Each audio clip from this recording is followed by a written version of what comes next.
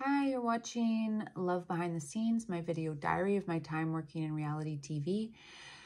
And uh, I've been a little homesick lately, just missing home and cooking for myself and my house and my friends and my routine. And I got back here and I was looking around and I noticed that the walls look like someone has been smoking in this room for 50 years. It's not the most uplifting color palette. And uh, yeah, I think also my world has gotten so small and because like the contestants, their world has gotten so small and uh, we've been on the road, so I haven't really been interacting with the crew that much.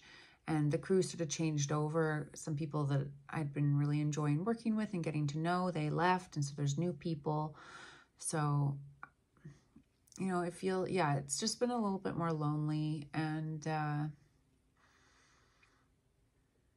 yeah, I'm kind of, uh, I think I'm doing okay. Like the girls themselves weren't doing, some of them are doing better than others. And um, due to their kind of general personalities and their stability. So I, um, I did ask production to kind of, we have a psychologist that we can bring in to help. So I asked for them to come in and uh, I think that's good because just more support is not a bad thing. And um, I'm taking a bit more uh, space for myself to look after myself. And, uh, and so I think that will be good too. So I'm just going to kind of, yeah, just remember to take care of myself because I'm, you know, no good to them if I'm not in a good place myself.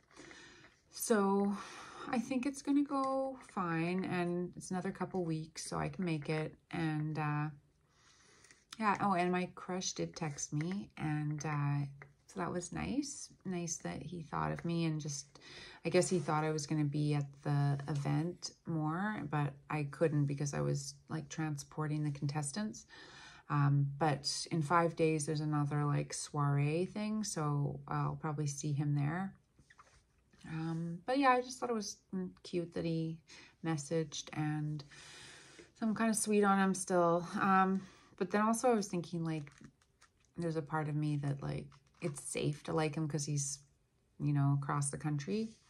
And maybe I have fear of intimacy, but I don't know. I also am doing a lot of work on myself, so I think it's probably not that. It's just logistics. It just happens to be I'm working outside of town right now. I actually live in the same part of town back in the city, so I don't know. We'll see. We'll see. But it is kind of nice to have the distraction uh, of a crush. And anyway, so that's my news comment and uh, share this video and subscribe. And remember, if you're looking for your soulmate, they're out there looking for you too. And love is in the air. Um, okay, bye.